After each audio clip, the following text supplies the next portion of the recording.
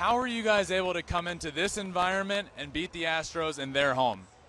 Eh, nosotros hemos estado preparados para, para ser campeones. Yo siento que nosotros nos hemos preparado súper bien. El equipo ha estado enfocado, dando el 100%. Y yo siento que eso nos ha ayudado a nosotros a ser mejor. How fun was it to watch Jordan Montgomery pitch tonight? What'd you see from him? It's unbelievable. Uh, what I think is he's one of the guys I always like. I, I say he's the guy who we think like he not come from the our team. He come from another team. He do hundred percent everything he do. We got he want to be better. He did uh, a tremendous job. I say, and I hope that we get we gonna we got sign him back next year.